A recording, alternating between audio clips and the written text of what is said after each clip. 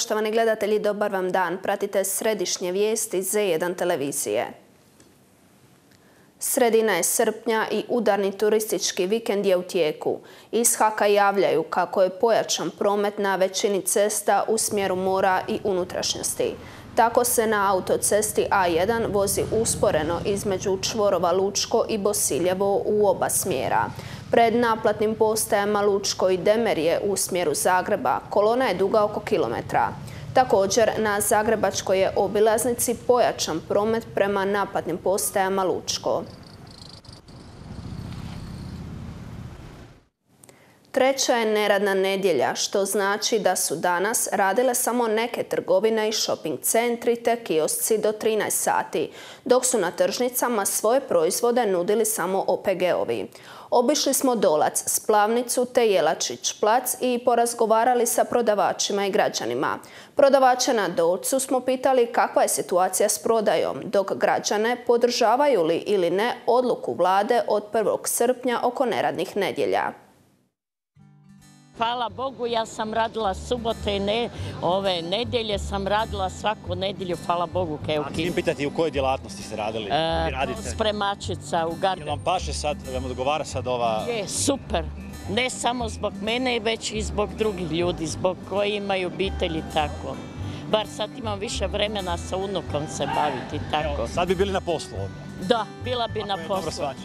Je, je, bila bi na poslu, hvala Bogu danas nisam. Znači podržavate taj potez vlade? Je, podržavam, podržavam, potpunosti podržavam.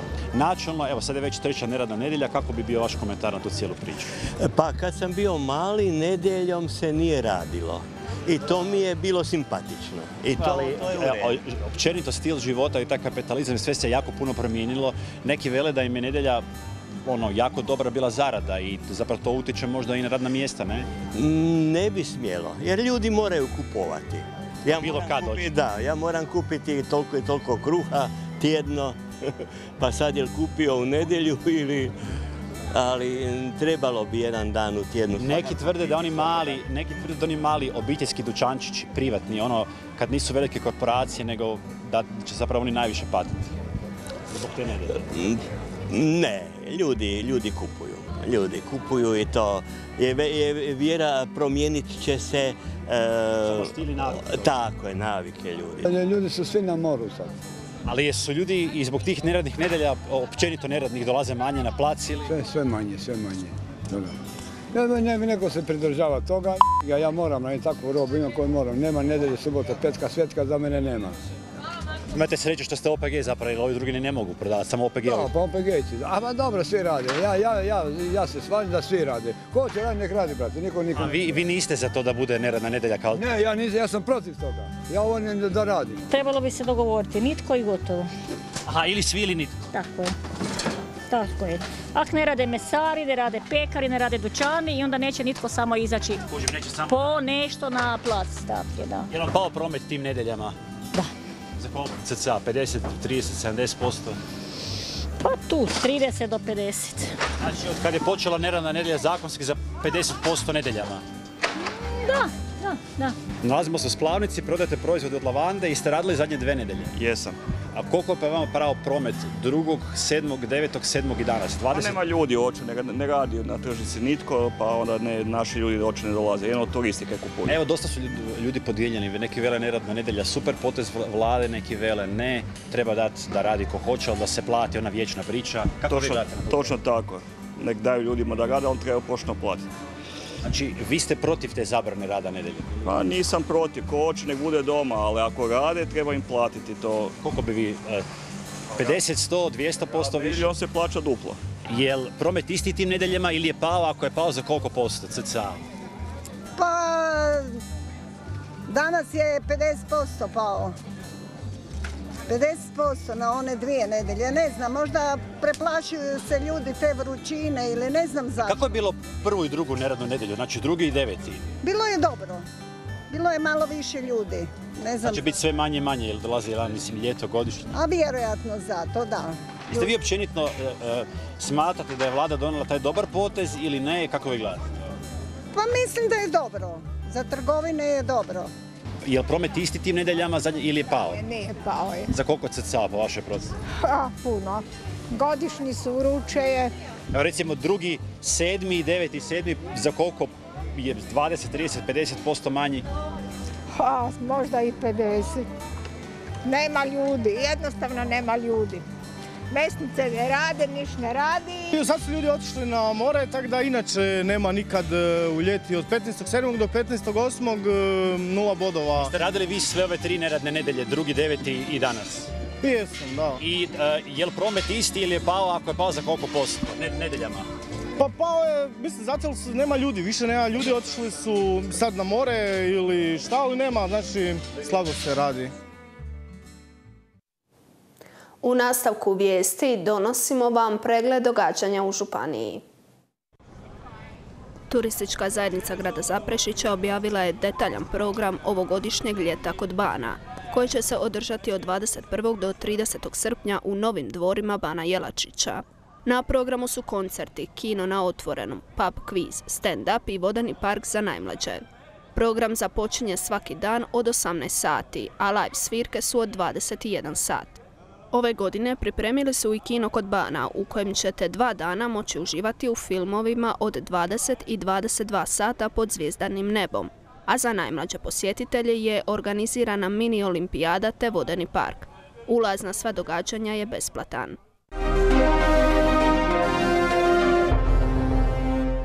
I ove godine Općina Križ organizira sajam obrta i rukotvorina u sklopu brojnih manifestacija kojima se obilježava Dan Općine Križ. Sajam će se održati u subotu 26. kolovoza od 14 sati u prekrasnom ambijentu stoljetnog parka u Križu. Pozivaju se svi zainteresirani, obrtnici, umjetnici, proizvođači domaćih proizvoda iz općine Križi i okolnih jedinica lokalne samouprave da se pridruže u želji da se sugrađanima i svim posjetiteljima ponudi nekomercijalna, unikatna ponuda rukotvorina, domaćih likera, meda, sira i ostalih prerađevina od lavande, bučinog ulja, ručno rađenih predmeta i sl. Uz sajam obrta i rukotvorina pripremit će se i zanimljivi sadržaj za djecu i odrasle. Svi zainteresirani mogu se prijaviti najkasnije do 21. kolovoza. Grad Dugo Selo nastavlja i dalje sufinancirati učbenike i radne bilježnice srednjoškolcima te radne bilježnice osnovnoškolcima u narednoj školskoj godini. Temeljem odluke o financiranju učbenika i radnih bilježnica za učenike srednjih škola za narednu školsku godinu koji imaju prebivalište na području grada Dugog Sela, te za sve učenike srednje škole Dugo Selo pripremljeni su sporazumi sa srednjom školom Dugo Selo, srednjom školom Novska, srednjom školom Vrbovec, zrakoplovnom tehničkom školom Rudolfa Perešina u Velikoj Gorici i srednjom školom Ivan Švear Ivanić grad. Za učenike srednjih škola koji ne pohađaju navedene srednje škole, na službenoj internetskoj stranici grada objavljen je obrazac zahtjeva za financiranje učbenika i radnih bilježnica koji je potrebno predati najkasnije do 20. rujna. Grad Dugo Selo za ovu je namjenu u ovogodišnjem proračunu osigurao ukupno 46.453 eura. Grad Velika Gorica i Zagrebačka županija provode projekt besplatnog mikročipiranja pasa i sterilizaciju kuja u iznosu do 110 eura, najkasnije do 13. listopada ove godine, odnosno do utroška sredstava. Svi zainteresirani građani s područja grada Velike Gorice mogu se javiti u specijalističku ambulantu za male životinje AVA Školska 47 ili u veterinarsku stanicu Velika Gorica Sisačka 39. Mikročipiranje pasa je zakonska obveza skrbnika psa, a kazne su do 800 eura. U minutama koje slijede donosimo vam presjek prošlotjednih kulturno-političkih događanja u metropoli.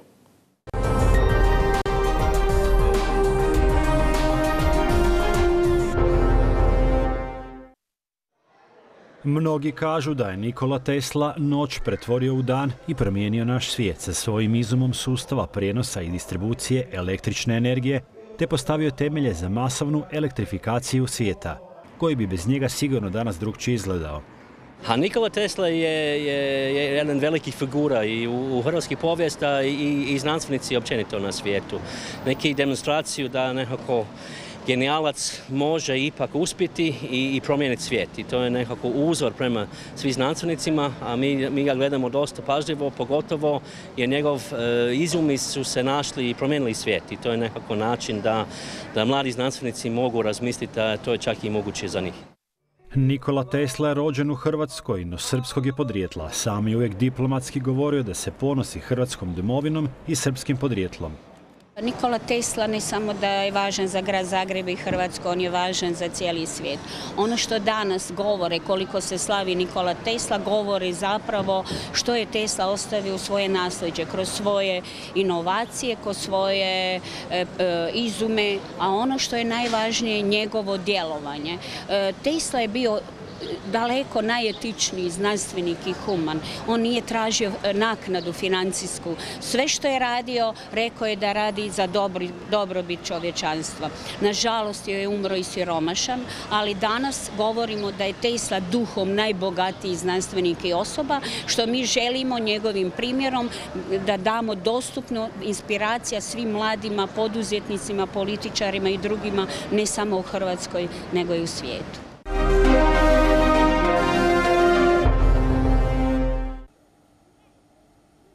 Krov dječjeg vrtića na Vrbanima uskoro će krasiti solari. Radovi na projektu Sunčana elektrana dječjeg vrtića Kustošija, u sklopu kojeg je i spomenuti područni objekt na Vrbanima, u punom su jeku, na što je posebno ponosna njegova ravnateljica. Od danas smo zadovoljni i sretni upravo zbog toga što smo e, jedan od prvih vrtića grada Zagreba, gradskih vrtića, koji je dobio priliku imati sunčanu elektranu na krovu našeg vrtića, ovog modernog zdanja i sigurna sam da kao ravnateljica koja vodi računa o financijama će i tekako troškove električne energije biti manji. Što odgovorno tvrdi i ravnatelj RGE, profesor Julije Domac. Ovo je objekt koji će u ovoj fazi proizvoditi električnu energiju za vlastitu potrošnju. Novi paketi e, investicijski su sada već u pripremi i u provedbi.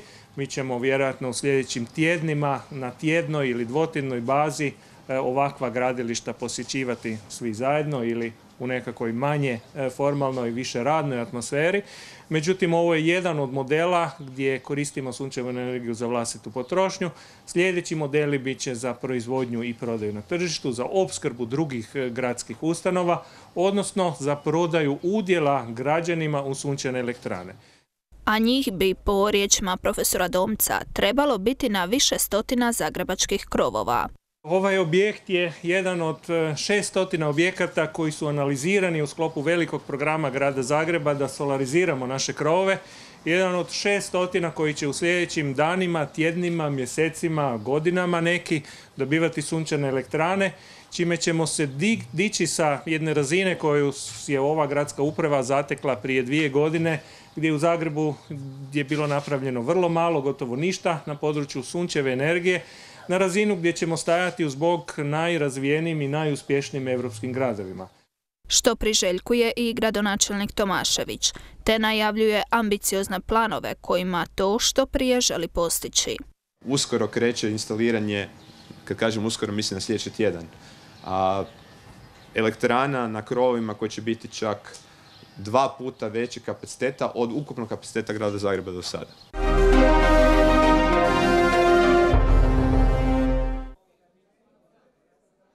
434 upisane djece nakon isteka roka za prigovore. Ukupno 7604 upisanih mališana i 2716 onih koji nisu bili te sreće. To su konačni rezultati upisa u Zagrebačke gradske vrtiće za predstojeću pedagošku godinu. Evo što o njima kaže zamjenica Dolenec. Naravno da nismo i ne možemo biti zadovoljni dok god grad Zagreb ima neupisanu djecu koja ispunjavaju uvjete. To je višegodišnji problem, višegodišnji problem koji je upravo ova uprava krenula rješavati ubrzanim tempom. I ponovit ću još jednom, sada već preuzetih obaveza investicija je preko 50 milijuna eura vrijednosti izgradnje novih vrtića. Pet ih je trenutno u izgradnji, šest je u pripremi. Isto tako, 15 milijuna eura povrh postojećih sredstva za plaće. Ide za povećanje plaća, znači za poboljšanje materijalnih uvjeta, rada u vrtićima i za nova zapošljavanja. Ali što to vrijedi svim roditeljima čija su djeca unatoč ispunjenim uvjetima ostala bez vrtičkog mjesta? Mnogi od njih zbog toga su prisiljeni uzeti neplaćeno ili čak dati otkaz. Evo i zamjeničenih uporno ponavljajućih riječi utjehe. Ono što mi podsjećamo da on postoji najmanje pet godina, ako ne i više, seže unatrag, da grad Zagreb dakle, nije upisivao svu djecu koji imaju uvjete. Pritom je subvencionirao privatne i vjerske vrtiće gdje je e, dio roditelja također e, našao upis e, u, u vrtić. E, svakom roditelju je teško čekati, ali mi smo pokazali, dakle, ako unutar jedne godine smo upisali 1300 djece više nego prošle, ako ćemo otvoriti pet vrtića tijekom pedagoške godine, doista će se ipak značajan dio e, te djece upisati.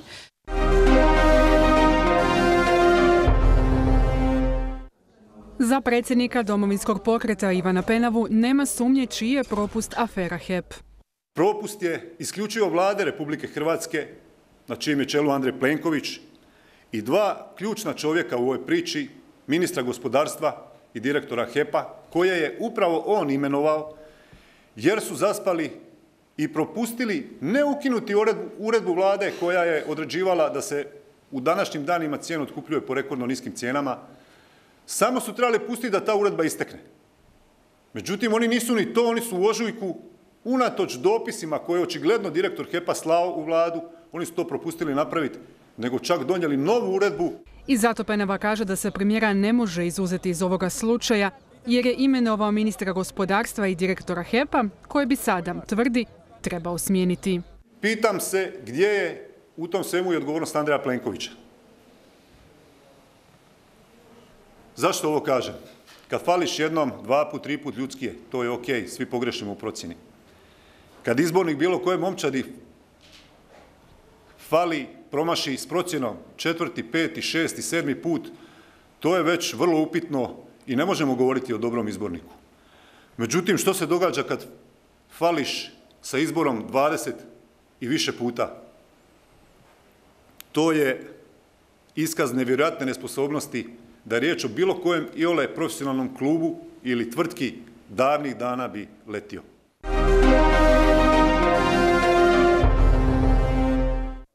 Predizborni razlaz Možemo i SDP-a čini se naljutio Joška Klisovića, jučerašnjeg vjernog pratioca gradonačelnika Tomaševića na gotovo svim važnim događanjima u Zagrebu.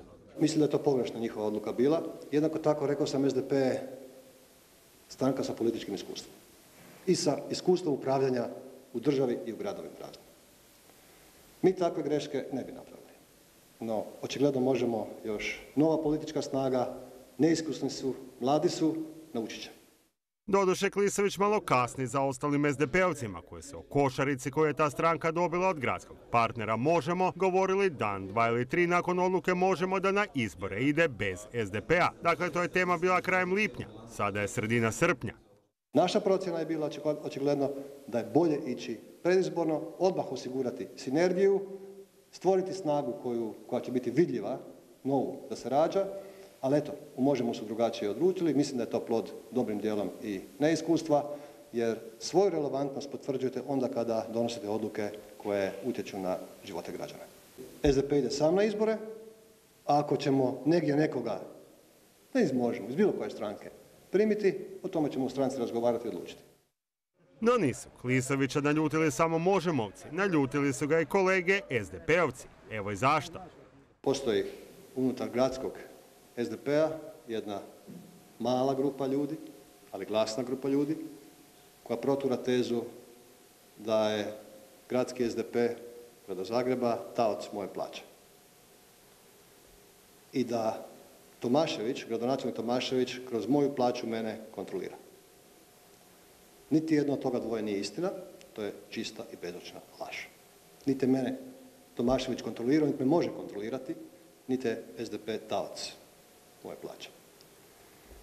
A svim tim sitnim dušama, svim tim kokošarima u stvari, mogu reći da SDP nikad neće biti taoc moje plaće, ni ću ja to dozvoliti.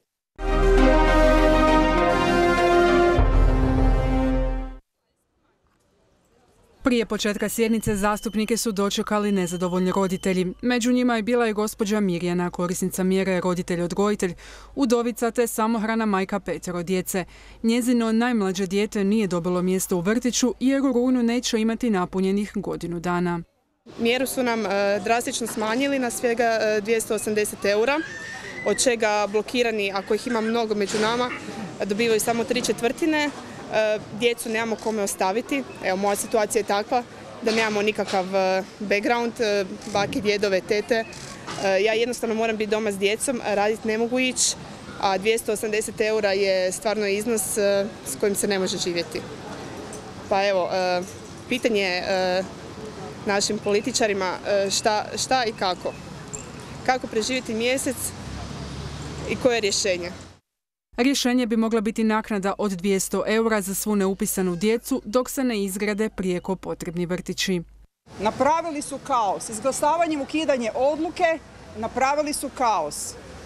Danas mogu odlučiti riješiti ga, sve je na SDP-u. Možemo neće dići ruke za prijedlog, sve je na zagrebačkom SDP-u. Ta naknada spriječila bi obiteljske financijske probleme, uzimanje neplaćenog i davanje otkaza. Ta točka je prema zahtjevu Mosta hitnim postupkom uvrštena na dnevni red današnje sjednice, no ipak nije uvažen prijedlog da ta točka bude prva prije one o rebalansu proračuna. Intencija ovog prijedloga naše odluke je da svako, ali baš svako dijete u gradu Zagrebu koje zadovoljava uvjete za upis u gradske vrtiće dobiva tu subvenciju. Ona djeca koja su upisana da ju dobivaju kroz subvenciju gradskim vrtićima, a ona djeca koja nisu upisana da tu subvenciju dobivaju njihovi roditelji i da im se na taj način olakša iznalaženje načina tko će skrbiti za tu djecu kad će roditelj biti na radnom mjestu. Spas od velikih vrućina brojni su Zagrebčani i turisti potražili u debelom hladu Zrinjevca, dok se živa u termometru penjala do 35 stupnjeva Celzijuseva. U hladu se uz fontane ipak lakše disalo. Bila je tamo i naša kamera.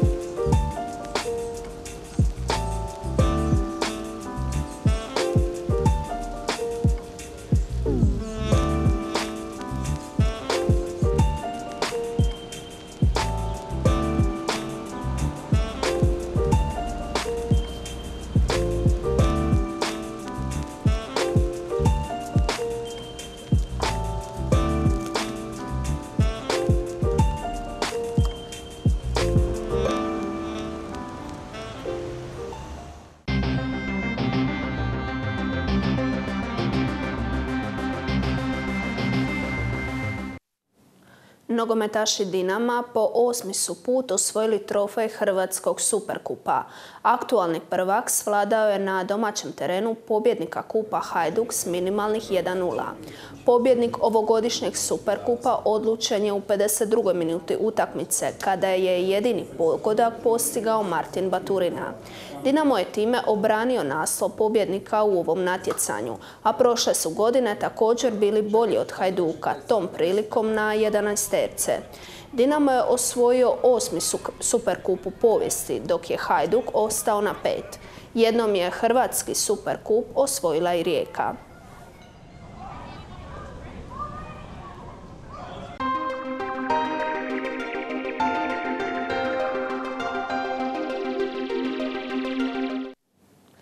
Za kraj o vremenu. U Zagrebu do kraja dana sunčano i vrlo vruće.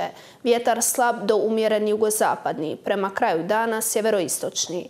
Najviša temperatura oko 36, na okolom gorju između 28 i 30 Celcijevih stupnjeva. Zbog ponovnog porasta temperature zraka u cijeloj zemlji ovu su nedjelju obilježile razmjeno nepovoljne biometeorološke prilike. Pogledamo još i kakav će nam biti početak tjedna koji je pred nama. U Zagrebu pretežno sunčano i vruće. Poslije podne na širem području grada lokalno može pasti poneki pljusak. Vjetar većinom slab. Prema večeri će zapuhati umjeren sjeveroistočni, prolazno i jak. Najniža temperatura između 19 i 23, najviša dnevna oko 36 Celzijevih stupnjeva. U cijeloj će zemlji prevladavati sunčano i vruće, mjestimice i vrlo vruće. Poslije podne je u središnjim i istočnim predjelima moguć lokalni pljusak s grmljavinom. Vjetar uglavnom slab jugozapadni, prema večeri i umjeren sjeverni i sjeveroistočni, prolazno i jak. Na Jadranu će puhati slab, sredinom dana umjeren jugozapadni i sjeverozapadni vjetar. Najniža temperatura između 18 i 23, na Jadranu od 22 do 27, Najviša dnevna uglavnom između 33 i 38 Celzijevih stupnjeva. Biometeorološke prilike će posuda biti nepovoljne. Nakon tople noći očekuju se visoka temperatura zraka i danju. Zbog toga se svima, a posebno kroničnim bolesnicima, savjetuje izbjegavanje težih fizičkih aktivnosti u toplijem dijelu dana. Uz obaveznu hidraciju, laganu prehranu, savjetuje se rashlađivanje životnog prostora po mogućnosti na prirodne načine.